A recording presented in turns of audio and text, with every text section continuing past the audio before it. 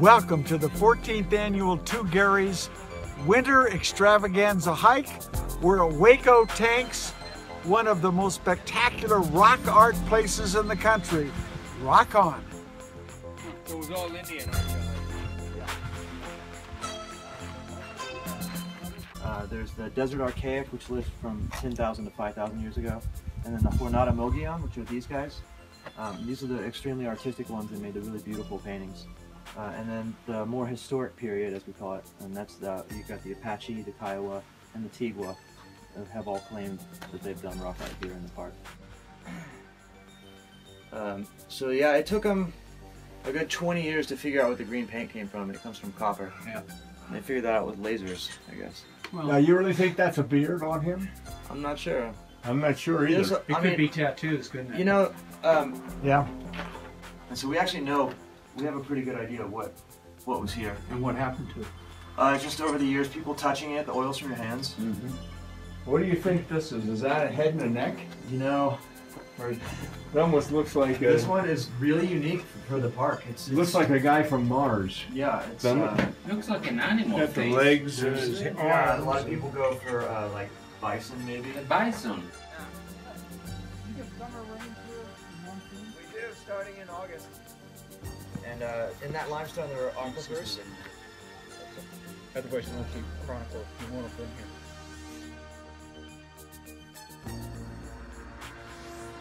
So we believe that this is a historic period, maybe Apache uh, copy of a Mogollon mask of Tlaloc. Yeah, interesting. Yeah, you can see the eyes Yeah. and the mask there. See the lines kind of going? Yeah. I think that's probably a Tlaloc as well. And there was something here, maybe a Quetzalcoatl here. Yeah. You can take those home, put them in Photoshop, and run a infrared filter over them.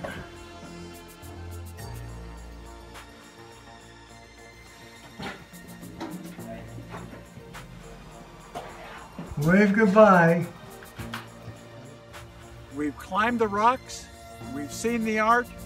We're about to leave Hueco Tanks for a sumptuous Mexican dinner in El Paso, and then off to climb Texas' highest peak.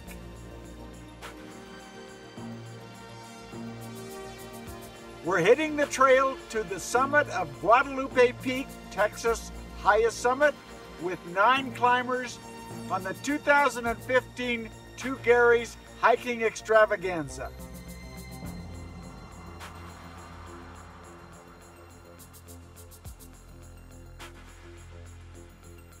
Sir, you must not think it's too cold here on Guadalupe Peak. It's not cold at all. In fact, I ditched the gloves half halfway up. So, He's got a six Wow. pack, Gary. And my hands get really cold. So that's saying something. So you hiked up this morning? I ran up this morning.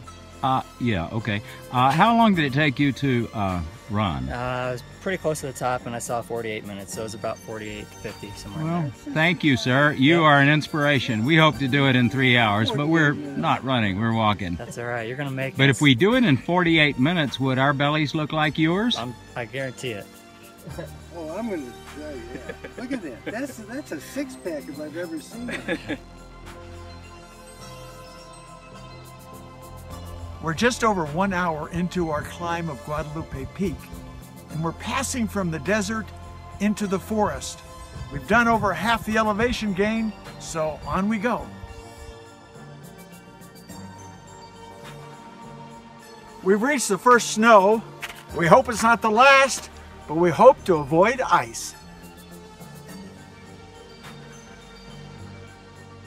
But for that bridge we just crossed, we couldn't get here. But we're on our way to the top, just one more third to go.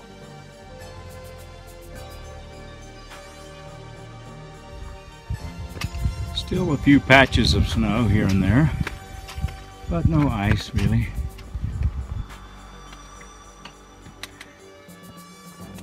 Here's a scary little spot.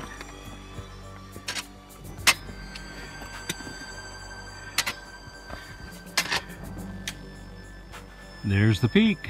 We're getting very close. We'll be there in about 10 minutes. The summit of Guadalupe Peaks, about two and a half hours. Not bad for a group of octogenarians and nearly so. And rounding the corner, are Jim and Ramon. How you feeling, guys? We're feeling great. It's so encouraging to see the final stainless steel pillar. Oh yes, with Dr. Driggs up there. The famous pillar and the two pillars of our program, two Garys. And now we say so long to Guadalupe Peak National Park. All made it up and down safely. Another great hiking day.